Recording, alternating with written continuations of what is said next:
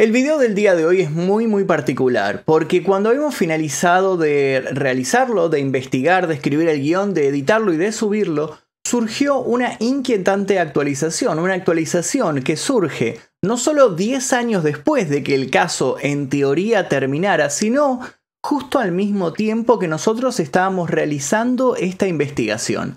Por eso, los invito a quedarse hasta el final porque añadimos, van a notar que hay una añadidura en edición de este video, algo muy muy interesante y que va a resignificar todo lo que investigamos. Se podría decir que es casualidad, pero como ustedes van a ver a lo largo de este video, las casualidades a veces no existen. Así que los invito a ver el video del día de hoy y quédense hasta el final porque hay algo que cambia absolutamente todo. Un mítico programa radial mexicano de carácter paranormal es desde hace tiempo el eje de una escalofriante leyenda urbana, en la que se entrecruzan oscuras confesiones y un supuesto pacto con el diablo. Los más escépticos aseguran que el famoso y reconocido programa siempre coqueteó con la ficción, por lo que remarcan que el infame llamado del ya mítico Josué no es más que parte de un siniestro guion urdido en una febril madrugada, por una mente muy imaginativa y perversa. Otros, sin embargo, se muestran un poco más confundidos. Si bien también saben que el programa contaba con documentación apócrifa, sostienen que al menos una parte de lo ocurrido fue real. De una manera u otra el tema sigue causando revuelo y los debates están a la orden del día. Pero ¿cuál es la razón? Una serie de sucesos que le otorgan a todo este hecho un aura bastante oscura. Casualidades que para algunos por supuesto no lo son. Ya escribió alguna vez el famoso filósofo Voltaire, la casualidad no es ni puede ser más que una causa ignorada por un efecto desconocido. Pero ¿está todo realmente conectado en este caso? Una muerte ocurrida en 2001 reavivó la pasión de los internautas y nuevas teorías salieron a la luz. ¿Estamos acaso frente a una maldición cuyos tentáculos y consecuencias llegan hasta nuestros días? ¿Qué es verdad y qué es ficción cuando hablamos de la misteriosa muerte del conductor de la mano peluda? Antes de comenzar con este caso, les pido por favor que si les interesan estos videos, dejen su like, se suscriban y dejen algún comentario. Puede ser absolutamente cualquier cosa, pero todo esto ayuda para que el video sea recomendado por el algoritmo de YouTube, así que pueden comentar un punto, una coma, una letra, cualquier cosa, pero llenen la casilla de comentarios. Me gustaría ver si podemos recibir por lo menos mil comentarios en este video. Ponemos la meta de mil comentarios y además les recuerdo que pueden tocar el botón de unirse aquí debajo elegir la membresía número 2 Maestro Oscuro y van a poder ver este video sin censura, sin publicidad 24 horas antes que el resto. Comencemos.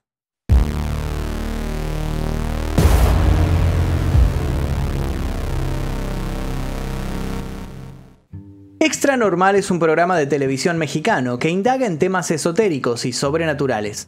Allí, diferentes especialistas acompañan a investigadores que se involucran en casos donde abundan las manifestaciones fantasmales y los eventos religiosos clasificados como demoníacos, entre otras cosas. Extra Normal es uno de los programas de esas características más aclamados de habla hispana. La seriedad en sus exposiciones le han significado una enorme aceptación entre el público en general y un reconocimiento muy particular por parte de los fanáticos. Según cuenta la versión oficial, en el año 2011 la producción del programa logró contactar con Josué, una persona cuyo nombre estaba ampliamente difundido entre los amantes de las historias de miedo. ¿Pero por qué? Muy fácil, porque Josué había protagonizado hacía casi una década algo que podría catalogarse como un hito en la historia de lo paranormal. Solo que esto no había sucedido en el programa Extra Normal, sino que había sucedido en otro muy parecido, pero de radio. Un programa fundacional en eso de meterse en oscuros callejones. Un programa que marcaría la vida de muchos. Pero no nos adelantemos. Lo cierto es que desde que sucedió ese llamado, la figura de Josué se convirtió en algo así como un mito. Y el sujeto, desde hacía una década, había permanecido entre las sombras sin hacer ninguna declaración. Por eso fue sorpresa para todos cuando se mostró interesado en brindar una entrevista. Solo que puso un par de condiciones determinantes para que la misma pudiese llevarse a cabo. Pidió, entre otras cosas, que en la misma estuviese presente Juan Ramón Sáenz. Sin la presencia de Juan Ramón no habría entrevista, soltó antes de cortar, según declaraciones de varios individuos de la producción del programa. El pedido tenía cierta lógica, había sido gracias a este conductor que el nombre de Josué había adquirido cierta fama. Pero ¿por qué quería verlo 10 años después? ¿Y qué era eso que había contado Josué en aquella llamada en el programa de radio para haber hecho tanto ruido y para haberse convertido en todo un mito? Obviamente a responder estas preguntas nos dirigimos, pero antes déjenme contarles un poco acerca de Juan Ramón. Juan Ramón Sáenz nació el 19 de octubre de 1962, y si bien hay muy poca información sobre sus primeros años, no nos quedan dudas de que se trató de una persona muy inquieta. Estudió en el Instituto de la Juventud, luego ingresó a la Facultad de Derecho en la Universidad del Valle de México, y tras finalizar la carrera, como si todo lo anterior no bastara para engrosar un amplio currículum, se especializó en criminología. Gracias a su perseverancia y dedicación, todos los que lo conocían no dudaban en asegurar que Juan Ramón tenía un brillante y próspero futuro por delante. Sin embargo, el hombre recién encontraría su vocación real cuando en 1986 se convirtiera en el productor de un programa de radio de una escuela en California. Luego de ese momento, su afición por el medio radiofónico no paró de acrecentarse año tras año, llevándolo a convertirse en un profesional de prestigio en el ambiente. Sin prisa pero sin pausa ejerció de productor general e institucional. Se adentró en la realización de contenido, programó sus propias hojas de ruta técnicas y hasta demostró, con voz afable y una templanza hipnótica, tener capacidad para conducir sus propios ciclos, siendo su primer gran éxito un programa llamado Grandes de la Salsa. Su salto a la fama llegaría un tiempo después, más precisamente con su intrusión en el universo fantasmagórico. Cuando dejara de presentar temas populares tropicales y pasara a atender llamados telefónicos de personas deseosas de narrar sus experiencias con el más allá, su nombre escalaría de modo inevitable en las taquillas. El programa en cuestión no era otro que el ya mencionado e icónico La Mano Peluda. La Mano Peluda fue creación de Mario Córdoba, entonces director artístico de la estación de radio 104.1 FM. El primer conductor del ciclo fue Rubén García Castillo, comenzando específicamente su labor el 13 de agosto de 1995. La rutina del programa era tan simple como efectiva. Las personas llamaban para contar al aire las más extrañas historias, siempre en primera persona. ¿Cuál era el resultado? Bueno, nadie quería perderse ningún programa, a riesgo de noches y noches sin dormir. Pasaron los años y la mano peluda se volvió más y más popular, ganando premios y recibiendo no solo la aprobación de la audiencia, sino también la de otros productores contemporáneos que miraban este éxito con admiración y también con un poco de envidia, de la sana y de la otra. Todo marchaba de maravillas hasta que Rubén García, el conductor, luego de cuatro años de escuchar las más descabelladas y aberrantes historias, alegó sentirse cansado y abandonó el proyecto. Obviamente esto fue lo que se dijo en los medios. Los rumores que corrieron de inmediato decían otras cosas. Decían que Rubén había empezado a sufrir ciertos malestares, que las pesadillas lo invadían, que tanto escuchar hablar de ciertas cosas lo habían sugestionado, generando en él una suerte de insoportable paranoia. Por un corto tiempo la mano peluda tuvo como conductor a Marco Antonio Silva. Mientras tanto, se encargaron de preparar a un joven productor que se encontraba detrás de las consolas de sonido para que ocupara el lugar central. Un joven muy apto que ya tenía amplia experiencia con el micrófono. Este joven era claro, Juan Ramón Sáenz. De este modo, mientras Rubén García se iba a hacer radio a Estados Unidos, quizás escapando de sus propios fantasmas, Juan Ramón se convertiría en la nueva voz de la mano peluda, sin saber que aquello cambiaría su vida para siempre y lo llevaría de una forma muy extraña, incluso hasta su muerte.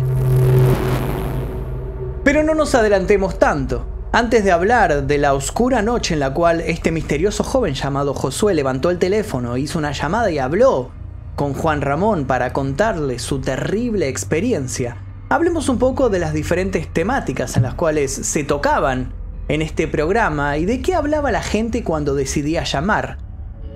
Por el ciclo La mano peluda pasaron miles y miles de llamadas. Muchas son hoy en día legendarias y siguen siendo las favoritas a la hora de contar algo que cause escalofríos. Tal vez en un día tormentoso, tal vez cuando se corta la luz. El caso Nash, por ejemplo, causó furor. Se trató de una supuesta posesión demoníaca que fue transmitida en vivo. Un hombre que dijo llamarse Nash llamó para contar su experiencia, cuando de repente su voz comenzó a volverse más y más grave, así hasta que sus palabras fueron totalmente incomprensibles.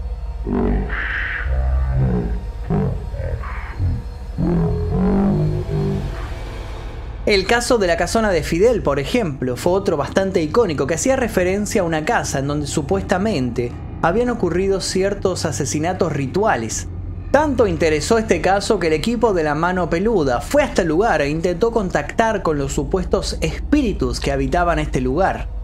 Hubo también otros casos de juguetes que tenían vida propia. Hubo casos de arrendatarios que ofrecían el premio de una propiedad a los valientes que se atrevieran a pasar una noche entera en cierta casa sin que sufrieran ningún ataque paranormal. Llamaron miembros de sectas diciendo qué es lo que tuvieron que hacer para entrar o salir de ciertos cultos. Llamó gente arrepentida de haber jugado a la Ouija. Gente con la supuesta capacidad de comunicarse con los muertos. O con la desgracia de no poder dejar de hacerlo. Las llamadas de la mano peluda demostraban indefectiblemente que de la noche a la mañana cualquiera podía convertirse en el protagonista de una historia de terror. Sin embargo, sería recién en 2002 cuando el programa recibiría esta llamada, que haría que explotara la audiencia repentinamente. Se trató de un caso que luego encabezaría los titulares de varios medios de comunicación de México. Un caso que continúa siendo objeto de debate. Todo comenzó cuando, como de costumbre, Juan Ramón levantó el teléfono y del otro lado se encontró con una voz joven de alguien que decía llamarse Josué. Josué Velázquez decía que tenía 20 años y que llamaba desde Monte, California. Sin perder tiempo, el joven contó que a muy corta edad había cruzado la frontera de México a Estados Unidos con su madre, con sus hermanos y con su abuela, intentando escapar de una crisis económica, buscando alternativas en tierras norteamericanas. Josué relató sus peripecias intentando buscar un empleo digno plan que fracasaba sistemáticamente una y otra vez. Pero todo cambiaría drásticamente cuando llegara a manos de este joven un libro de magia negra. Al indagar en estas artes oscuras, Josué había llegado a la conclusión de que tenía que contactarse con algún ser del inframundo, y que de esta manera él iba a conseguir los beneficios materiales tanto para él como para sus familiares. Poco a poco siguió adentrándose en la oscuridad, Visitó brujos, aprendió latín, griego y hebreo, y de esta forma dijo entender mejor los conjuros. Entre tantos textos logró descifrar uno y fue así que logró invocar a Lucifuge Rofocale, una fuerza del Averno que le prometió ciertos beneficios a cambio de algunos sacrificios. Le dijo además que le otorgaría un anillo de dominio donde iba a tener encerrado a un ser que le otorgaría siempre sus deseos. Obviamente todo esto siempre y cuando ninguno rompiera su parte del pacto. Lo primero que pidió este ser fue el alma de algún ser querido de Josué. Fue entonces cuando el joven, comprometido con su causa, tomó la decisión de asesinar a su abuela, luego informando a las autoridades del fallecimiento como muerte natural. Posterior a esto, Velázquez empezó a recibir recompensas, el dinero empezó a llegar a su vida, pero siempre con una condición. No debía ser utilizado para hacer el bien. Pero ¿acababa este oyente de confesar un crimen en vivo? Los niveles de audiencia llegaron a picos jamás vistos. Y Josué siguió comunicándose con Juan Ramón, siempre hablándole de los designios oscuros a los cuales se enfrentaba. En una de estas tantas llamadas, Josué dijo que había hablado con los entes y que estos querían muerto a Juan Ramón Sáenz, precisando obviamente que él no lo quería así. En la misma llamada se lo escuchó a Josué atemorizado. En ciertos momentos de sus comunicaciones podían escucharse voces graves, gruñidos distorsionados y carcajadas que resistían y se burlaban de las palabras de un predicador cristiano que decía estar orando por el alma del joven. Desde ese momento el caso se convirtió en un hito y varios comenzaron a nombrarlo como el caso de Josué el endemoniado. Obviamente toda esta narración fue un éxito y durante varias semanas tanto Juan Ramón como el programa gozaron de publicidad extra. Luego la vida de la mano peluda siguió con su ritmo habitual. Juan Ramón ni siquiera se imaginaba que Josué reaparecería 10 años después y se metería en su vida. En 2004 Juan Ramón quiso llevar a la pantalla chica un programa titulado Excalofrío con TV Azteca y Aquí se respira el miedo en el extinto Canal Infinito. Después de algunos meses y con un rating bastante escaso, Ambos programas fueron cancelados. Si bien el golpe se hizo sentir, Juan Ramón no se desanimó y siguió con sus proyectos. En 2005 comenzó a hacer intervenciones dentro del programa, hoy en Televisa.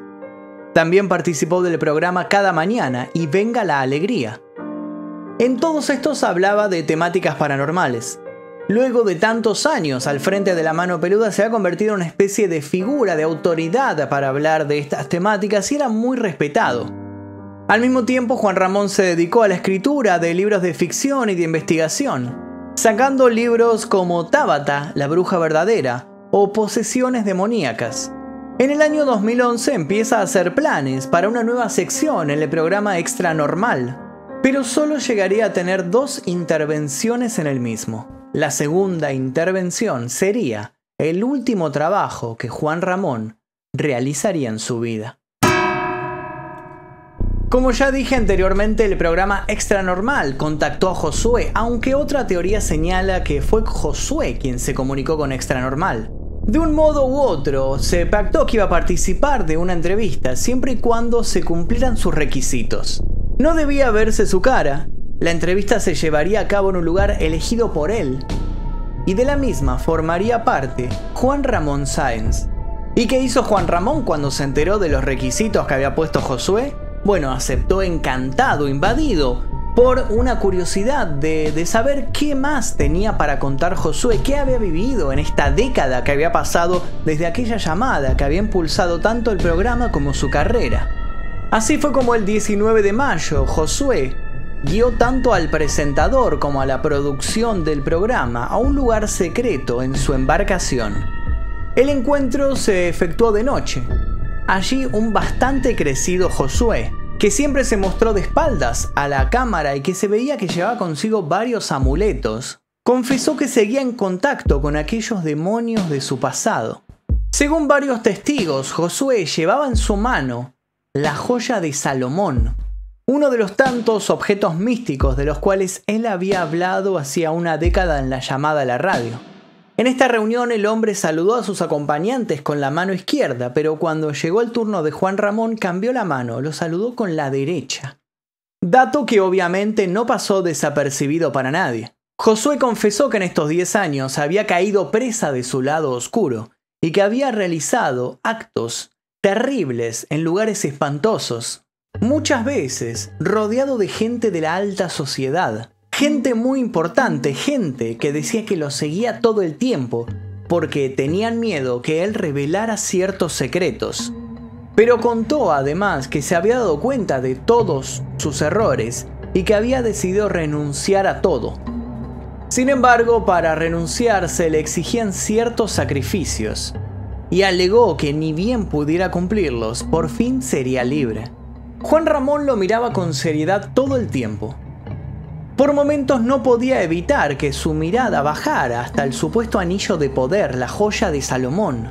La nota se transmitió con una audiencia media, sin embargo, 10 días después, las cosas ocurridas allí se resignificarían notablemente. A los pocos días de la entrevista, tanto el reportero como el camarógrafo que acudieron a la entrevista junto con Juan Ramón sufrieron ciertos accidentes. Uno de ellos tuvo un aparatoso accidente automovilístico en donde casi pierde la vida. Y el otro fue intervenido de emergencia. A los pocos días el mismo Juan Ramón tuvo que ser internado por presentar ciertos síntomas de fatiga y de malestar. El 29 de mayo de 2011, Juan Ramón Sáenz perdería la vida víctima de un paro respiratorio a causa de una misteriosa bacteria gastrointestinal que le provocaría un cuadro agudo de peritonitis. Aunque obviamente esa es la versión oficial de los hechos, muchos fanáticos y seguidores de la mano peluda aseguran que Josué había utilizado a Juan Ramón como cierto sacrificio, este sacrificio que le pedía al demonio para que por fin abandonara todo este mundo de sacrificios, de rituales, de cosas horribles que él tenía que hacer día a día. ¿Acaso le había costado a Juan Ramón la vida este encuentro con Josué? Aseguran además estos expertos en fenómenos extraños que no fue casual que el encuentro se llevara a cabo sobre el agua dado que la misma es considerada como un elemento clave en ciertos rituales de transmutación. ¿Acaso había Josué pasado su demonio a Juan Ramón? ¿La persona que desde un principio lo había ayudado a sacar a la luz lo que le sucedía? Y de ser así, ¿por qué había elegido a este hombre como un sacrificio? ¿Acaso por su fama y notoriedad? ¿Qué ligaba a Juan Ramón con el espíritu vengativo de Josué? Todo este asunto había quedado en el olvido durante mucho tiempo y reflotó, volvió a salir a la luz a raíz de la muerte del primer conductor de la mano peluda, estoy hablando de Rubén García Castillo, aquel que algunos decían había renunciado por estar sufriendo extraños sueños. ¿La maldición acaso continuaba? El lunes 31 de mayo de 2021, casi exactamente 10 años después de la muerte de Juan Ramón, se dio a conocer el fallecimiento de Rubén García Castillo. Fue el director general del sistema de radio y televisión mexiquense quien confirmó en las redes sociales la muerte del comunicador especializado en temas de ocultismo y sucesos paranormales. Tras la partida de Juan Ramón, Rubén García había retomado el mando de la mano peluda, en el que permaneció hasta 2018, cuando el mismo dejó de emitirse por cambios estructurales en la cadena radiofónica. Debido a que ambos conductores habían fallecido a finales de mayo, con una década de diferencia, algunos usuarios obviamente relacionaron estas muertes y hablaron de una especie de maldición cíclica. Téngale usted más miedo a un vivo que a un muerto, había asegurado el conductor Rubén García Castillo en la última emisión de La Mano Peluda sucedida el 5 de febrero de 2018. Él siempre intentaba mostrarse escéptico, aunque algunos aseguraban que en cuanto había vuelto al programa, las pesadillas habían regresado. ¿Acaso sigue estando presente Josué detrás de todo esto? Bueno, muchos creen que sí. Incluso no quieren que se pase por alto el nombre del programa y la relación que tiene este nombre con todo lo sucedido. La mano peluda hace referencia a una de las leyendas más antiguas de Latinoamérica, son muchas las generaciones que han crecido siendo intimidadas por sus padres o abuelos, quienes para castigarlos hacían referencia a esta horripilante mano cuyo propósito era agarrar los pies de aquellos niños que se levantaban por la noche de la cama y así llevárselos al más allá.